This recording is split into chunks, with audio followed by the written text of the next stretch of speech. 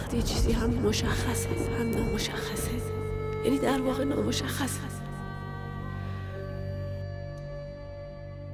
شاید یکی از بیرون من ببینه بگه سوا قشنگ مشخص این پسر دادش لیلای تو می‌خوره.